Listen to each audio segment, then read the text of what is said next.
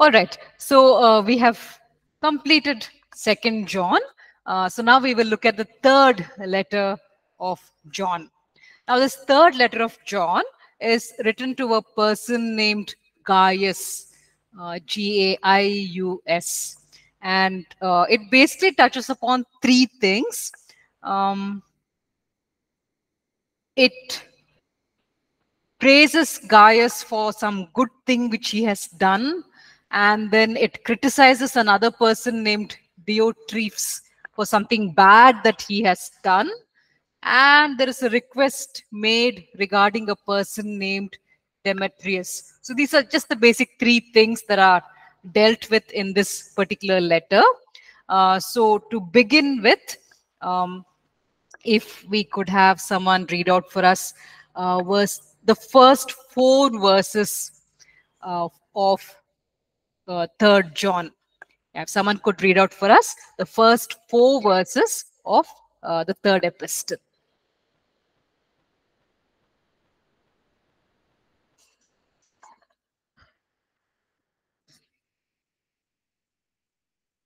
Third John, uh, the first four verses, please.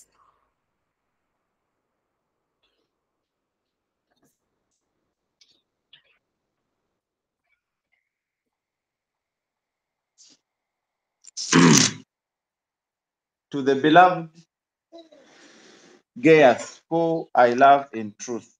Beloved, I pray that you may prosper in all things and be in health, just as your soul prospers.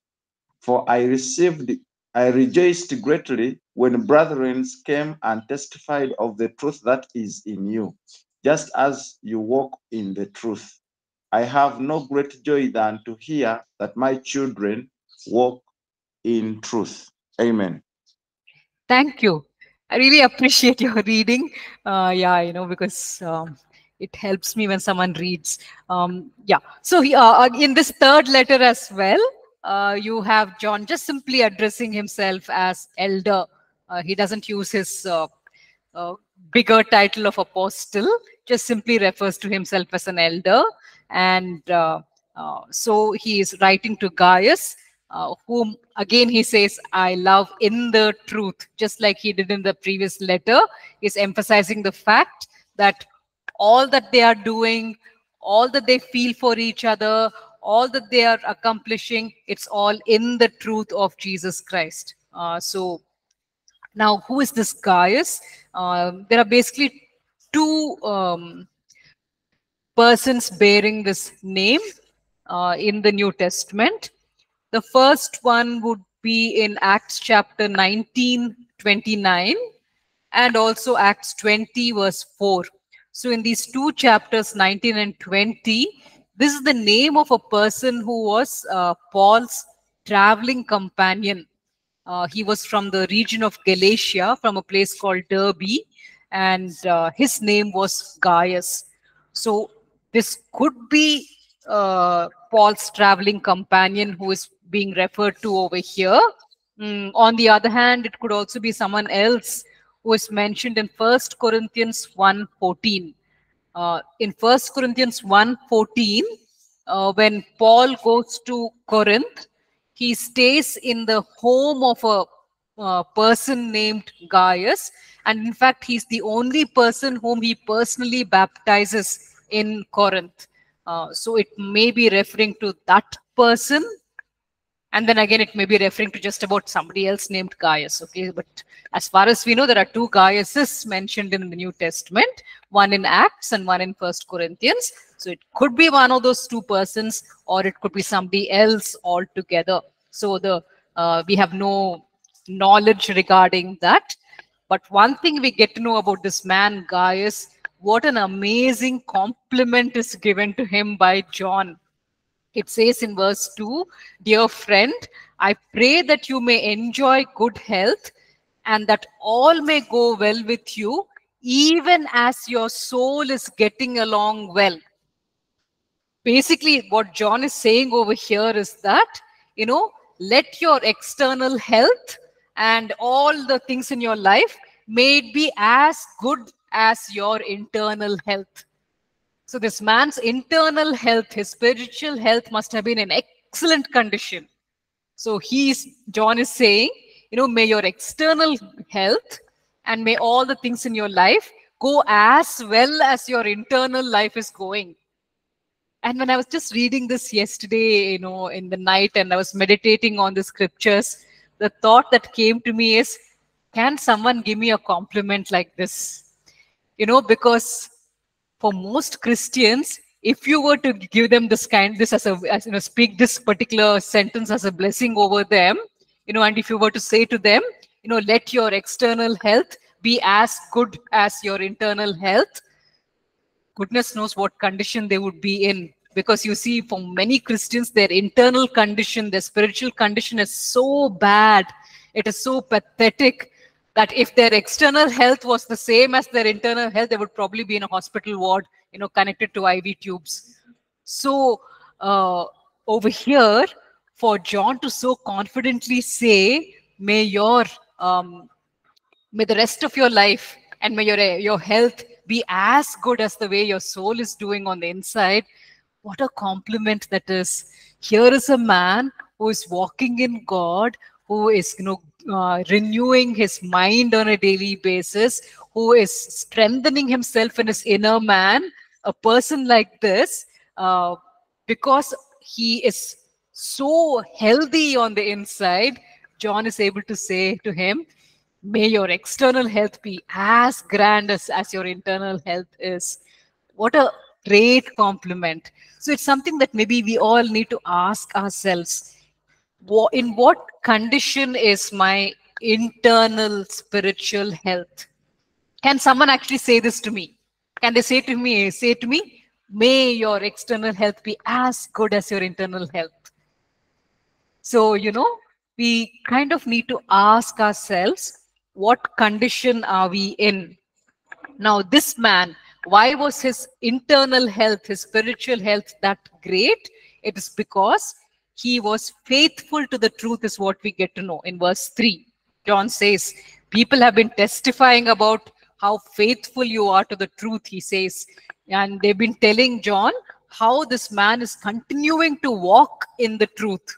And so he says i have no greater joy than to hear that my children are walking in the truth. You know so uh, he refers to gaius as my ch uh, children so maybe you know he uh, john had been mentoring him and you know um, uh, speaking the scriptures to him. So he is so happy now to see this gaius having grown up so well in the faith and he's walking in the truth. Not only is he just you know uh, listening to the truth it says continue to walk in it is what he says. He's uh, people have been telling him how gaius is continuing to walk in this truth, which means on a daily basis is applying it. So it actually basically comes down to that. If you and I want to have a really great internal health, spiritual health, we should be people who are not just listening to the truth, which is easy enough to do. You know, you just need to stay awake and keep your ears open and you'll be able to hear the truth. But are we practicing it? Are we literally walking in it? Are we applying it? Because then our internal health is going to be really good. So uh, here is a man who was actually doing that and uh, he was walking in the truth to the extent of showing kindness to strangers which is what we find out in verses 5 6 7 8 so you know if someone could read out for us most probably it will be collins who will be doing that for us um, verses 5, 6, 7, and 8. Um, you know, if uh, you could read out for us, please.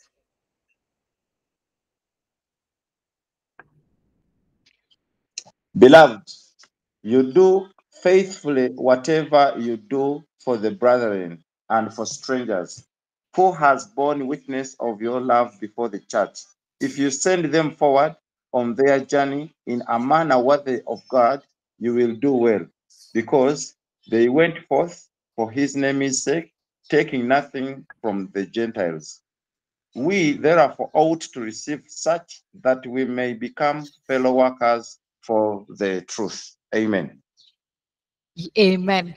So, in the earlier uh, letter, we saw John very strictly warning the believers and telling them, do not take people into your home who are false teachers. Now, here it's the exact opposite. He's saying those who are true teachers of the word, those who are true missionaries of the gospel, please welcome them into your home.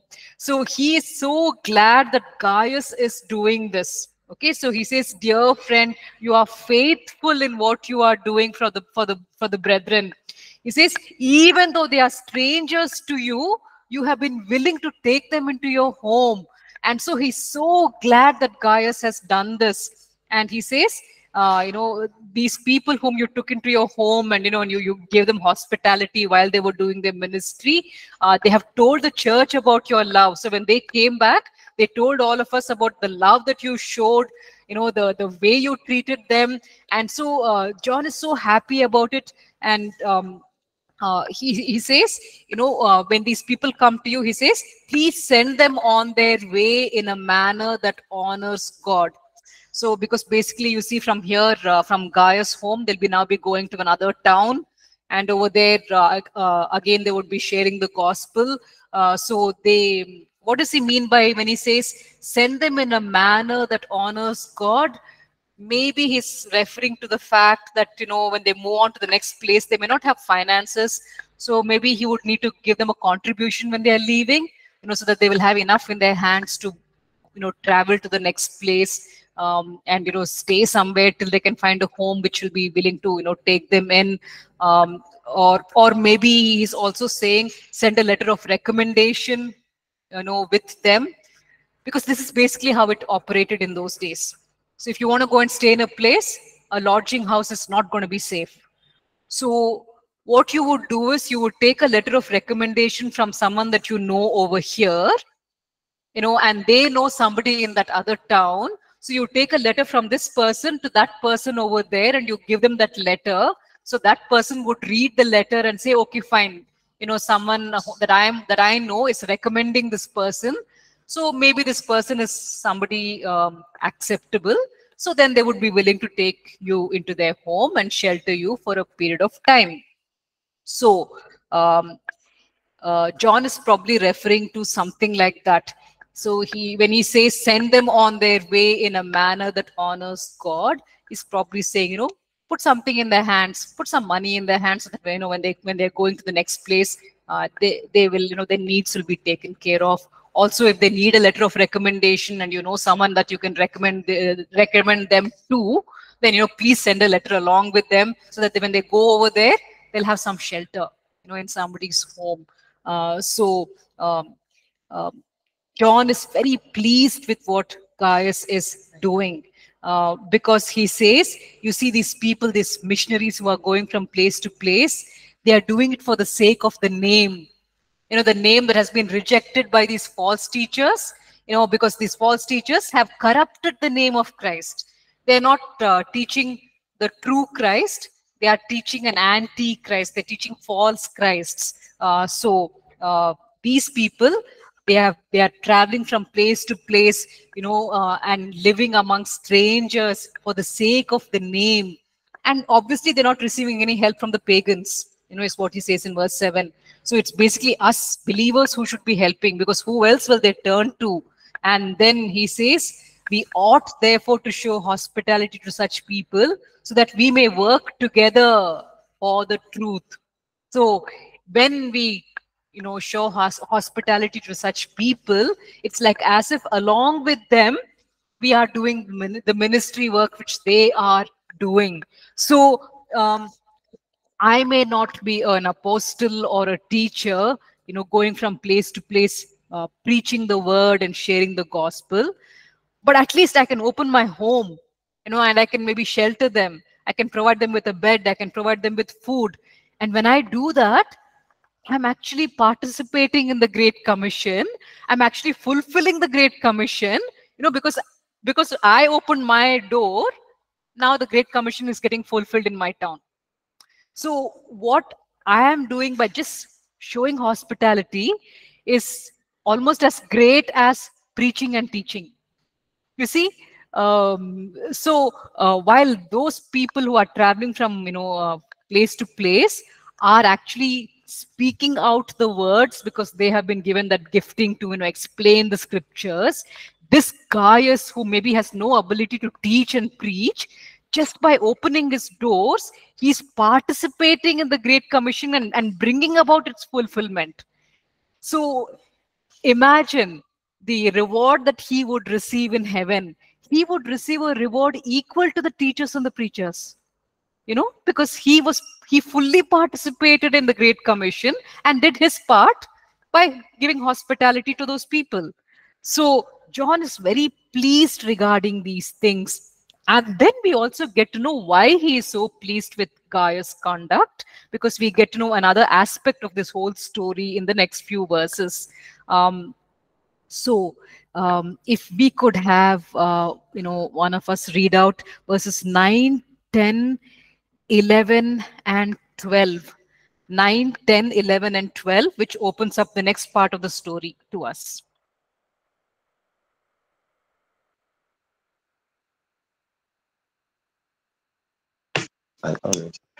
I will write to the church. I wrote to the church, but Diotrephes, who loves to have the preeminence among them, does not receive us. Therefore, if I come, I will call to mind his deeds which he does, parting against us with malicious words. And not content with that, he himself does not receive the brethren and forbids those who wish to, putting them out of church. Beloved, do not imitate what is evil, but what is good. He who, da- he who does good is of God, but he who does evil has not seen God. Demetrius has a good testimony from all and from the truth itself. And we also bear witness, and you know that our testimony is true. Amen. Thank you. So here we get to know that there's this person named Diotrephes uh, who um, seems to have some kind of an important position in the church. Uh, so here John is saying, I wrote to the church, but Diotrephes, who loves to be first, will not welcome us. So it looks as though John has sent a letter of recommendation to Diotrephes you know, saying, please accommodate these, these missionaries whom I'm sending, you know, open up your doors to them, you know, welcome them, shelter them so that they can do their work. But this Diotrephes was not willing to welcome them. He rejected the recommendation letter which was sent. Why? Because he loves to be first. Uh, maybe he regarded these traveling preachers and you know, missionaries as competition because maybe he liked being prominent in that church and having an important position in the church and how everyone looks up to him and admires his teachings and all of that and now here you have outsiders coming in and they know when they start preaching and teaching then uh, the congregation receives new truths from them and they are happy to you know to to learn more. And he doesn't want to share the glory. He wants it all for himself. So it looks like he's a man um, a very narrow minded person who uh, loves being praised, who loves being popular, and he doesn't want to share his personal glory with others. So, when these missionaries come over there, uh, you know, sent by God to minister, he does not want them to come in. So, what does he do, this man? Um, uh, it, it, he's uh, in verse 10 this is what john says about this man he says so when i come i will call attention to what he is doing spreading malicious nonsense about us not satisfied with that he even refuses to welcome other believers. He also stops those who want to do so and puts them out of the church. So this man he seems to be an important person. So when someone tries to entertain these missionaries who are coming he you know threatens them and says I'll, I'll have you excommunicated from the church if you entertain these missionaries. So he's gone to that extent. And um, plus he's spreading he's spreading uh, malicious wrong uh, information regarding john and the others. So uh, he and he's doing all of this because he loves to be prominent. You see for him self promotion has become so important that he's willing to go to the extent of throwing out people who are willing to entertain the missionaries. So actually when gaius took the step of taking people into his home he did it at a great risk he actually ran the risk of being thrown out by diotrephes from the church which basically indicates that Diotrephes must have had the support of the majority of the other members. Because if he was on his own, he would not have been able to excommunicate people, which means everyone held him in such high regard that they were willing to, you know, agree with him and participate in excommunicating uh, people who are going against his orders. So, which is why John says, when I come, I will call attention to this and I'll let people know what kind of a person he is. Then the congregation will realize what he is like and they will stop supporting him, you know, because he is, uh, he is presenting himself as somebody that he is not. And then the congregation will realize what kind of a person his, he is. Their eyes will be opened and he will lose the support which he has. And he will be brought down to the place you know where he should be rightly put. So um, that is what john says. Um, now uh, think about it. In the earlier letter when john you know said um, do not entertain false teachers in your homes he never added the threat and said you know if you entertain false teachers in your home then i will I'll have you excommunicated imagine john himself did not make any threat like that uh, an apostle who was a disciple of Jesus, even he never made a threat like that and said, you know, if you entertain false teachers, I'll excommunicate you. And here is somebody, you know, who's um, not even as great as John, who's going around excommunicating people as he wishes. It clearly shows that he's abusing his leadership uh, position. And so, a person like this, uh, you know, John has uh, says, I will put him in his place when I come there. I will warn everyone about what he is doing. And so he says in verse 11, you know, dear friend, do not imitate what is evil, but what is good. So don't, you know, be like this Diotrephes. You know, uh, don't follow his evil example.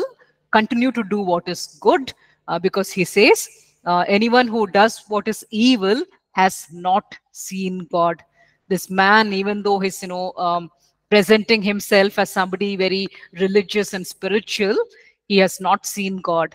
He does not know the love of God. If he did, you know, he would entertain the missionaries. He would not excommunicate people who are showing love towards the missionaries. So this is a man who has not seen God, is what he says. And now he brings up this other issue, this third issue, which he wants to talk about. So he speaks about a person named Demetrius. And he says, Demetrius is well spoken of by everyone, and even by the truth itself. Even the truth is speaking well about this man. We also speak well of him, and you know that our testimony is true. Uh, so there are three categories of people or things which are testifying to the goodness of this Demetrius. Everyone is saying good things about him. The truth, you know, the very truth, uh, Jesus and his word, they are speaking well about him. And John is also speaking well about him. Uh, which means here is a man who is walking in the truth, is committed to the uh, to the you know uh, teachings of Jesus, and he is following them and practicing them.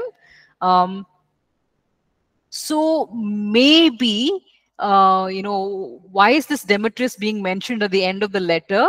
Probably Demetrius is the man through whom this third letter is being, you know, um, sent to the church that is receiving it.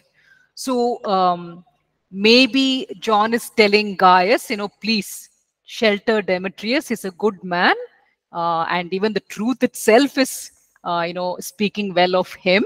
Uh, so, you know, maybe he's he's saying, you know, you, you need to shelter him and, um, you know, put him up at your place uh, because everyone is speaking well about him. So Demetrius is probably the person who carried this third letter and went to that church in which Gaius was a member. Um, and uh, so, with that, he ends this letter. Uh, he says, I have much to write you, but I do not want to do so with pen and ink. You know, he's kind of repeating what he has said in the earlier letter. And then he says, I hope to see you soon and we will talk face to face. Uh, and then he says, The friends here send their greetings. Greet the friends there by name. I mean, the uh, previous letter, it was talking about, you know, um, sisters. If you look at the very end of your, uh, you know, second John, uh, these are the words over there. It says, the children of your chosen sister send you their greetings. Over there, the churches are addressed as sisters. So they're all sister churches, all belonging to the same family. Uh, so one sister church is greeting the other sister church. Here, the church communities are referred to as friends, um, which is actually not a very um, common way of referring to the church. Um, at that time, uh, the term family, sister was more common, uh, but probably these believers were thinking in terms of John 15, you know, where Jesus says, You're no longer uh, my servants, but now you are my friends. So maybe they, they you know, regarded themselves as friends of Jesus. So maybe that's the reason why, you know, the church community is being referred to as friends. So here um, he says, the friends here greet the friends over there. So one church community is greeting the other church community, and they are referring to themselves as the friends of Jesus. Um, so, uh, you know, just to touch upon that uh, verse 12, where it says that even the truth is speaking well of Demetrius, you know, can we say that about ourselves? Uh, Jesus, the truth, and the truth which he proclaims in his teachings, can they speak well about us? Are we following the truth and living by it to an extent where Jesus himself is impressed and he's speaking well about us? Does he testify and say, yes, this is one person who's really committed to, uh, you know, what I have taught and they are following my teachings and they are walking in love. Uh, so, you know, there, there are many um, interesting compliments which are scattered about in these, uh, in, in the, you know, in this letter. So can people, you know, give us such compliments? It's a question, you know, which we would need to ask ourselves even as we, you know, meditate on this particular letter. So uh, this is about it we looked at the Gospel of John, and now we have looked at all the three letters that John has written. Um, a lot has been uh, conveyed as information, but information becomes um, reality only when we practice it. Uh, so uh, our goal should be, you know, whenever possible, to meditate upon maybe some chosen passages from these, you know, um, letters and gospel of john.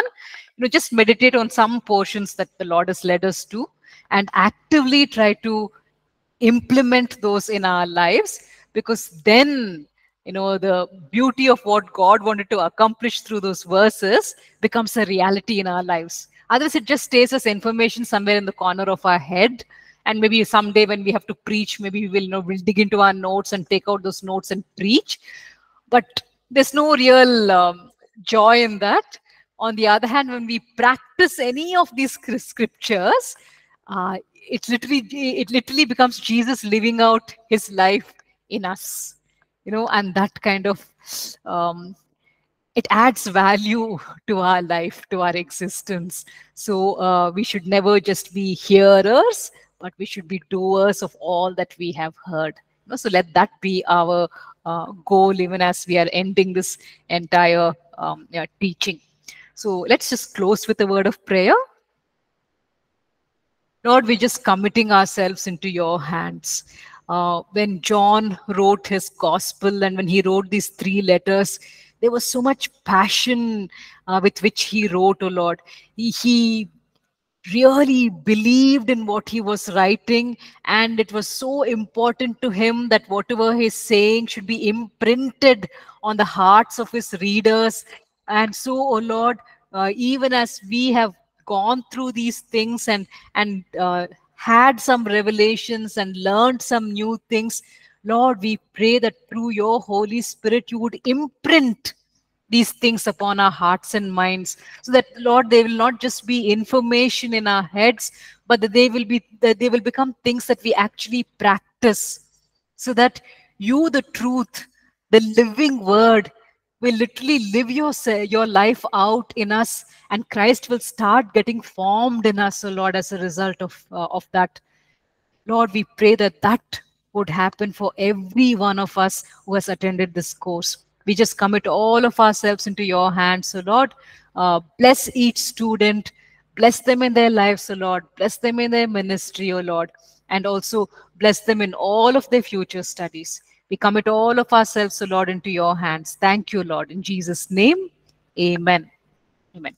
Thank you so much. Amen. You're welcome, Pastor. Thank you.